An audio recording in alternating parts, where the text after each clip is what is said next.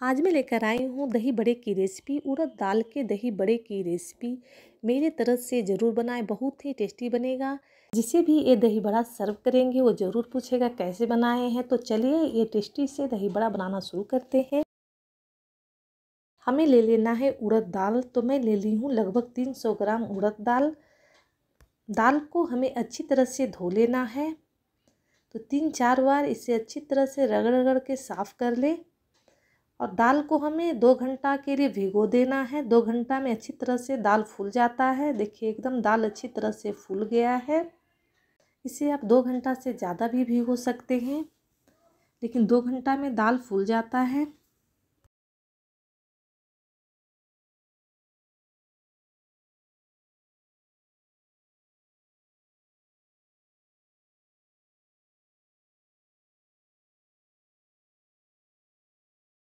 दाल को हमें अब पीस लेना है मिक्सी में तो पानी ज़्यादा ना डालें, हल्का पानी डालकर पीस लें दाल को।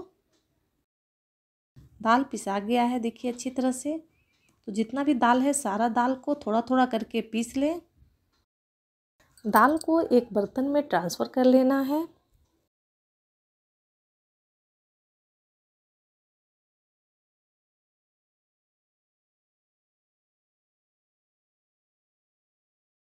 थोड़ा सा हींग डाल दें।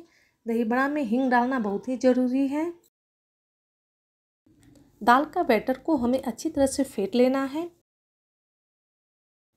तो इसे इस तरह से चम्मच से फेंट सकते हैं या तो आप हाथ से भी इसे फेंट सकते हैं। तो मुझसे चम्मच से ठीक से नहीं फेंटा रहा था। तो मैं इसे हाथ से फेंट ले रही हूँ।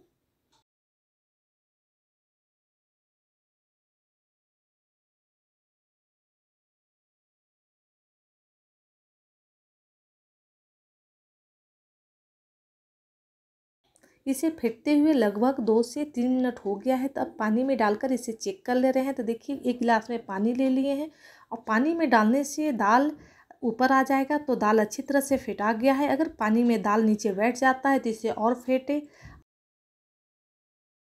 अब इसमें थोड़ा सा नमक डाल देना है अपने टेस्ट के अकॉर्डिंग। थोड़ा सा जीरा पाउडर, लगभग एक छोटी चम्मच।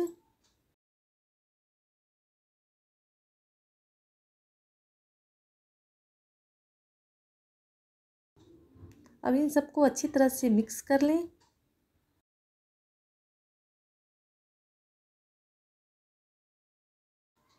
थोड़ा देर इसे फिर से अच्छी तरह से फेंट लेना है, जिससे एकदम दही बड़े सॉफ्ट बने।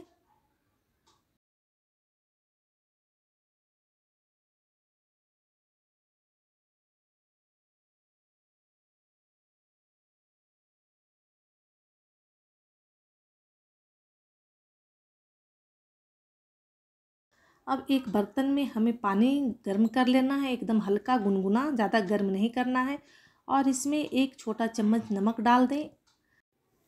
पानी हमें एक मिनट से ज़्यादा गर्म नहीं करना है। अब एक कढ़ाई में तेल को गर्म कर लेना है।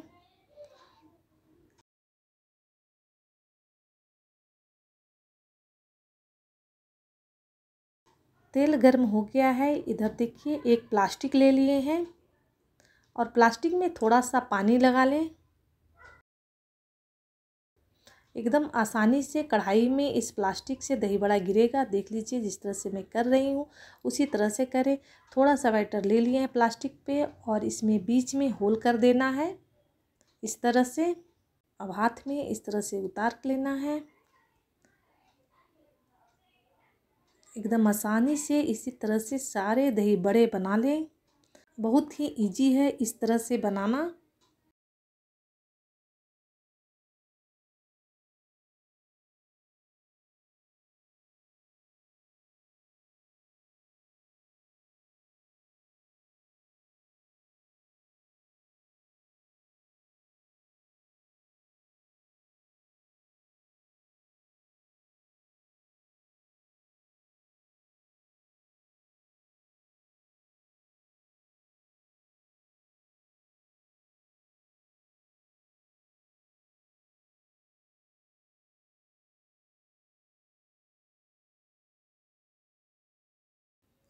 अगर आपको बिना होल वाला दही बड़ा बनाना है तो उसे भी इस तरह से फैला लें और फैला कर ही कढ़ाई में डाल दें। इसमें होल ना करें।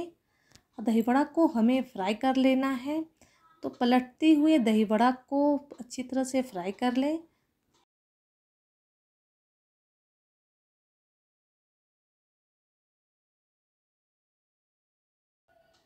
दही बड़ा अब फ्राई हो गया है तो इसे निकाल लें।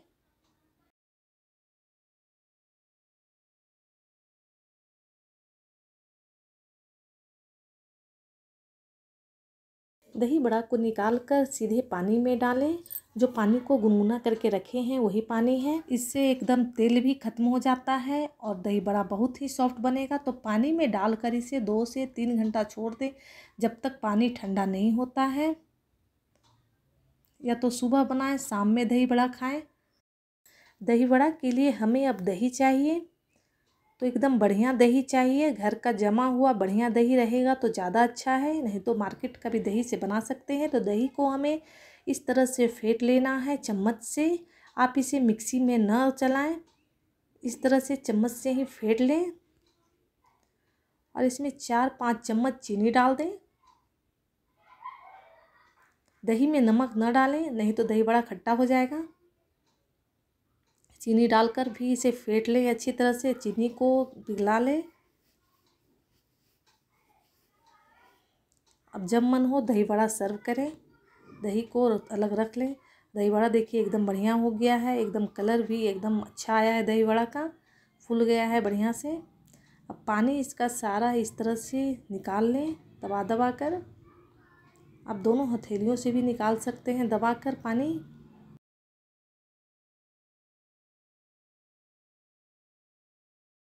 तो प्लेट में इसे मैं सर्व कर ले रही हूँ। आपको मेरे दही बड़े की रेसिपी कैसी लगी, अच्छी लगी हो तो लाइक करें, अपने फैमिली फ्रेंड में शेयर करें और मेरे चैनल को सब्सक्राइब करना भी ना भूलें। अब दही बड़े के ऊपर में दही डाल दें। अच्छी तरह से एकदम दही से ढक दें दही बड़ा को।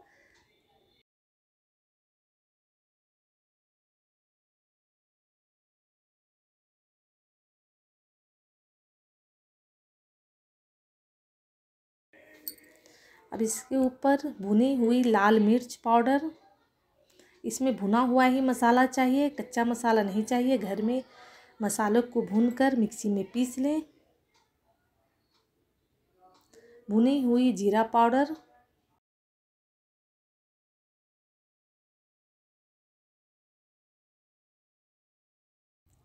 काला नमक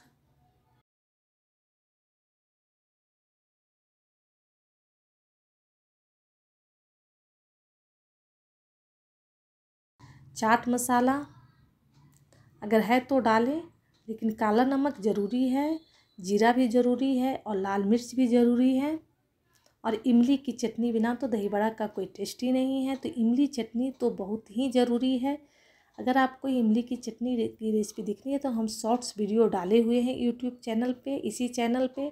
तो आप मेरा शॉर्ट्स वीडियो देख सकते हैं इमली की चटनी का। एकदम ईजी है इमली की चटनी बनाना। और ऊपर से थोड़ा सा भुजिया डाल के सर्व करें।